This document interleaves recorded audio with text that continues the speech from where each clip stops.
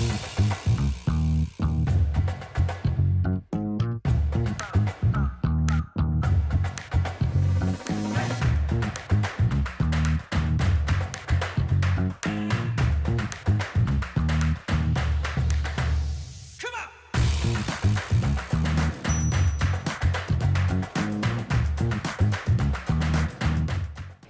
Bienvenidos a Poniendo el Pecho. El primer paso para entender lo que pasa aquí en el Congreso de la República es conocer a quienes hacen parte de él.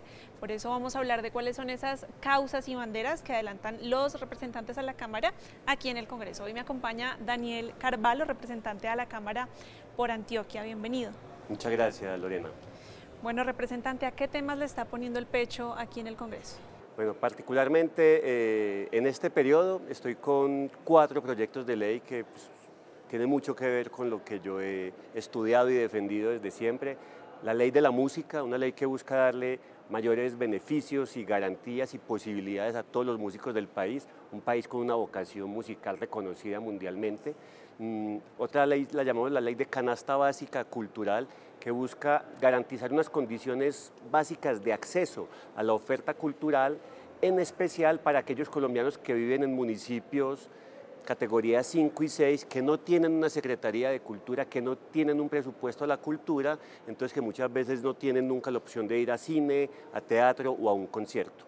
Por otra parte, en materia de sostenibilidad, tenemos dos proyectos, uno de ellos se llama la Ley contra el Ruido, un tema que ha hecho mucho ruido en los últimos meses en Colombia afortunadamente y que busca eh, aclarar las responsabilidades sobre quién, es el, quién debe eh, solucionar los temas que hay alrededor de esto, también busca endurecer la legislación y también tiene unas herramientas pedagógicas para que todos entendamos que pues, podemos estar enfiestados o despechados, pero el vecino no tiene la culpa de eso. Mm, tenemos otra ley que llamamos la ley de ciudades verdes, una ley que busca en un contexto de cambio climático, de una sequía como la que acaba de vivir Colombia, pues que nos preocupemos no solamente por la deforestación del Amazonas, sino también por la reforestación de las ciudades, sobre todo teniendo en cuenta que 70% de los colombianos vivimos en contextos urbanos y que vemos que cada vez las ciudades pierden más y más espacios verdes y árboles y esto podría pues ayudarnos a recuperar un poco de sombra, un poco de biodiversidad y mucho de paisaje. Antes de entrar en detalle en esas causas, representante, quiero que hablemos de un tema del que no solamente está hablando Medellín, sino todo el país, y es la explotación sexual de menores. ¿Cómo ponerle freno a ese delito? Pues es un tema bastante delicado, Lorena, eh, que por demás no es nuevo. Ya llevamos tiempo en esto, pero por fortuna se ha ido visibilizando más Particularmente en mi ciudad, Medellín, pues eh, hemos vivido, digamos, sucesos bastante lamentables que han hecho que el ojo del público, de la policía y las autoridades se fijen sobre esto. ¿Qué podemos decir al respecto? Mm, Colombia es rica en legislación al respecto y ha firmado una cantidad gigante de convenios internacionales, entonces no creo que sea eh, cuestión de sacar una nueva ley, ¿cierto? Es más bien ver por qué no se están implementando las leyes que ya hay, por otro lado, eh, hay una enorme desarticulación entre las autoridades y todos los actores del sistema turístico, agencias de viaje, aerolíneas, hoteles. Entonces allí tenemos que reforzar en materia de información, de control, de prevención. Por otro lado, nos hemos dado cuenta de que tanto en las autoridades policiales, eh, civiles y judiciales hay mucha desinformación o desconocimiento del tema. Entonces un policía muchas veces no sabe cómo tratar a una joven o a un joven que está siendo víctima de esto. Eh, los mismos eh, funcionarios de las alcaldías tampoco saben abordar esto. Entonces allá hay un tema bastante importante que tenemos que reforzar. Finalmente ya emprendí con varios eh, congresistas antioqueños y con actores de todo el sistema turístico una revisión de la ley de turismo de Colombia para ver cómo podemos apretar algunas tuercas y también cómo podemos evitar fenómenos como el de la gentrificación, que consiste en un aumento desmedido de los precios en los lugares turísticos por cuenta de la llegada de extranjeros. Allí, por ejemplo, tenemos que regular un fenómeno más reciente como son las plataformas tipo Airbnb, que hoy en día están un poco descontroladas y están incumpliendo todas las normativas existentes. Eh, la alcaldía de Medellín puso un trino que decía que iban a prohibir la prostitución en determinadas zonas de la ciudad. ¿Cree que la prohibición es el camino? No, yo no creo. Me parece que la alcaldía sacó un decreto un poco apresurado, eh, presionado por, por, un tema que hubo recientemente en Medellín. De todas maneras, eh, pues se reconoce que por lo menos están intentando hacer algo. Sin embargo, pasan varias cosas. Como se restringe en una zona determinada, hay una alta posibilidad de que se desplace el problema a otros lugares, uno. En segundo lugar, creo que se corre el riesgo de que se, victimice o se revictimice a las víctimas de explotación sexual que hoy hay en día y de todas maneras me parece que no está atacando el corazón de esto y es que hay unas redes internacionales de explotación sexual que operan en Medellín, en Cartagena y que entonces están captando clientes a nivel internacional y eh, sometiendo eh, mujeres especialmente aquí en Colombia para ponerlas en esto. No hay aún un cuerpo especializado, un cuerpo de inteligencia especializado en desarticular esto. Entonces estamos un poco dedicados a señalar a la joven trabajadora sexual o en coger al, al gringo que vino a eso, pero no estamos resolviendo el problema. Porque sé que es eso también, una cosa es la explotación sexual y otra cosa es el trabajo sexual y la prostitución. Para la legislación colombiana sí, se diferencia la explotación sexual que tiene mucho que ver con menores de edad, ¿cierto? Nunca podemos hablar de prostitución infantil y esto hay que dejarlo claro, se habla de explotación sexual comercial de niñas, niñas y adolescentes, eh, esto es completamente prohibido, pero el trabajo sexual o la prostitución no está prohibida en la legislación colombiana, pero sí hay, aún con mayores de edad, unas redes de trata y de explotación sexual de mujeres adultas. ¿Por qué hablamos de explotación sexual? Porque muchas veces ellas no quieren estar ahí, son obligadas, son drogadas o son amenazadas para que hagan parte de estas cadenas. Me decía usted que la prohibición no es el camino y creo que no solo aplica para este tema, sino para muchos otros. ¿Usted le ve futuro a que se vuelva a tramitar en el Congreso la iniciativa que busca regular el cannabis de uso adulto? Eh, esta iniciativa busca regular el mercado del cannabis de uso adulto porque hoy en día hay una hipocresía, digamos, en la legislación colombiana. En Colombia es legal cultivar cannabis, portar cannabis, consumir cannabis, pero no es legal vender y comprar. De alguna forma la legislación le está diciendo a los colombianos, consígalo, pero no me diga dónde, lo cual es una, una hipocresía. Sin embargo, yo creo que ya la ventana de oportunidad en el Congreso se pasó, se cerró, ya no veo una buena un buen ambiente aquí en el Congreso para que esto pasara y pues con mucha tristeza debo decir que perdí la esperanza en que esta ley pase. Eso frente al tema del cannabis, pero frente, por ejemplo, al cambio de narrativa de la coca, por ejemplo. creo que ahí hay que destacar, creo que una de las mejores cosas que ha hecho el gobierno del presidente Gustavo Petro ha sido eh, a nivel internacional cambiar o intentar cambiar el enfoque sobre las drogas. Hasta ahora pues hay que reconocer que la guerra contra las drogas en más de 50 años ha fracasado. Mm, se está intentando un nuevo enfoque más desde eh, la reducción de riesgos y daños, que es lo que recomienda por demás la OMS.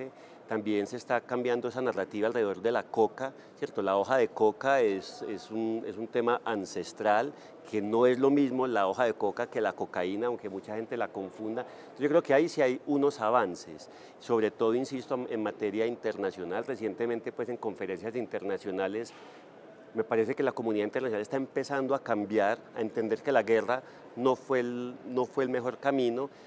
Esperemos que el gobierno nacional siga en eso a nivel internacional, pero que, también se aplique a nivel nacional, porque ahí sí veo una ruptura. En temas como el uso del cannabis medicinal, sobre el cual Colombia ya legisló hace 8 o 10 años, eh, no hay avances aquí en Colombia porque hay una cantidad de obstáculos y de trabas para eso. Entonces, felicito al gobierno, pero también le exigimos que a nivel nacional también se empiecen a ver cambios. Bueno, revisar la legislación actual para avanzar aplica para el cannabis medicinal y también para el turismo. Vamos a una pausa a mensajes institucionales y volvemos a poniendo el pecho.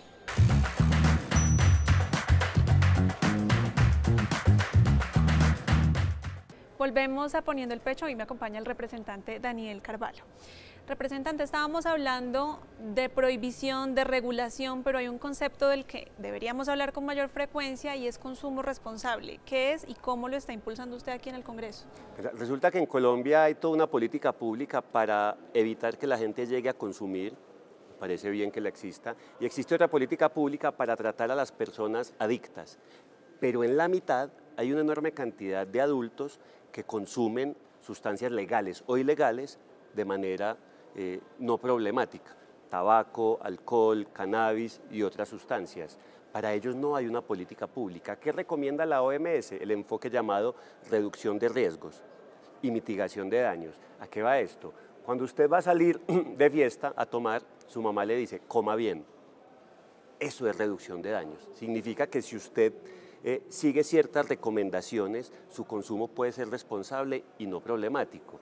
¿A qué se refiere? Que tener una buena información, tener garantía de que el producto que vas a consumir tenga un buen origen y no que te estén vendiendo quién sabe qué, eh, saber eh, con quién estás consumiendo, que los lugares de consumo frecuente como las discotecas o los festivales de música tengan un personal capacitado para atender eh, posibles, posibles Mal viajes. Entonces, esto que no, no, hace más que salvar vidas, Infortunadamente no ha sido, digamos, entendido por el Congreso. Yo presenté en el primer año un proyecto de ley al respecto y fue rechazado por la Comisión Primera. Estoy intentando una estrategia nueva para volverlo a presentar y también debo decir que en esto no ha habido gran acción por parte del Gobierno Nacional. ¿Usted se arrepiente de haber salido del, del closet de consumo de cannabis? ¿Cree que eso electoralmente le pega? es que yo, yo, no entiendo lo de salir del closet porque yo creo que todo el mundo se esperaba que yo fuese consumidor de cannabis, ¿cierto? Pues mi, mi pinta, mi discurso, entonces no, no, sé a quién podía sorprender esto. Sin embargo, no me arrepiento, yo no vine al Congreso, yo no entré a la política para ocultar quién soy ni para dejar de ser quien soy, ¿cierto? Entonces yo soy, sí, consumidor de cannabis y soy barrista y soy bicicletero y me gusta sentarme en un muro a, a tomar cerveza. Yo vine al Congreso y a la política justamente a decirle a la gente que ser así como yo soy no es para nada algo malo, sino que por el contrario uno puede ser así y ser un excelente colombiano. La cultura hace parte de su agenda. ¿En qué va el proyecto de ley de la música que usted creo que triunfó con ese proyecto porque vaya a segundo debate aprobado. ¿Qué sigue para el proyecto? Sin duda la cultura es muy importante en mi agenda. Yo fui actor de teatro durante cinco años, aficionado, y he entendido que la cultura es una forma muy bonita de uno expresarse y de que las sociedades se expresen y también de que lidien con sus conflictos. Por eso pues le he dado importancia a esto. La ley de la música, de autoría del eh, representante Juan Carlos Lozada y mía, ya va, superó el segundo debate en Cámara de Representantes, eh, ya va para el Senado. Yo creo que hay un buen ambiente, la gente reconoce que la música es un potencial de Colombia y esto no es un, simplemente, esta ley, un tema de, dar más, más derechos, sino también de entender la música como un mercado y una industria con un altísimo potencial. Entonces no se trata únicamente de que haya más Carol G y J Balvin, que es excelente que los haya, sino de que detrás de ellos hay toda una cadena y una industria, el camarógrafo, el que hace los videos, las bailarinas, el de las luces, el de la tarima, una industria que es, es muy rica y puede seguir creciendo. De modo que yo espero que los senadores, que ya siguen dos, dos, debates en el Senado, así lo entiendan y esta ley sea aprobada este semestre. También en temas culturales usted tiene algo que llama la canasta básica cultural. ¿Qué es eso? La canasta básica cultural. Mm, la mayoría de municipios de Colombia no tienen una Secretaría de Cultura ni un presupuesto de cultura, entonces su acceso a la cultura se limita casi que a ver la novela que pasan en televisión y a un concierto en la Plaza del Parque en Navidad. Es muy pobre sabiendo que Colombia tiene tanto por ofrecer, entonces esto busca eh, llevar expresiones culturales a todos esos municipios colombianos. Cuando vamos a cine, en Cine Colombia nos muestran al principio la ruta 90 y es Cine Colombia llevando cine en una cantidad de poblados. Eso es canasta básica cultural, es cómo llevamos eventos culturales a esa Colombia profunda. ¿Eventos culturales de qué? Justamente de los artistas que muchas veces están en las ciudades, que también están buscando mostrar su obra. Entonces podemos conectar ambas cosas, buscar el apoyo del sector privado y del sector público, obviamente, y llevar cultura a esos lugares de Colombia. Bueno, llevar cultura a todos los rincones del país, otra de las causas que se tramitan aquí en el Congreso de la República. Vamos a una pausa a mensajes institucionales y volvemos a Poniendo el Pecho.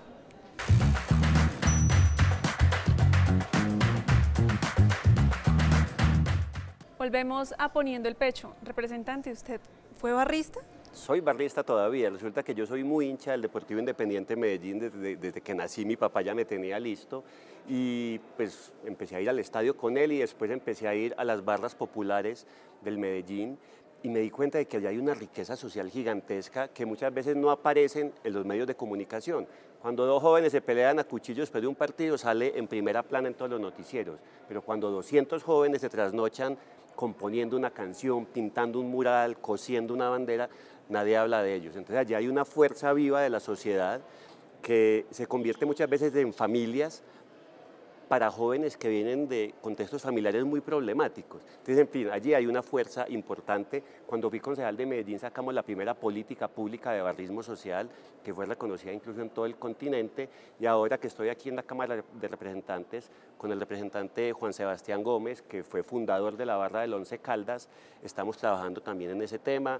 Hemos tenido ya varias eh, audiencias públicas, acabamos de presentar una ley de barrismo social, al final lo que busca es que sea reconocido como un movimiento social, que sea respetado, pero que también sea corresponsable, no es simplemente, digamos, eh, eh, dar sin recibir, y que finalmente busca que las entidades eh, estatales lo reconozcan y no se enfoquen solamente en el tema de seguridad, sino que entiendan que allí también hay una expresión social y cultural.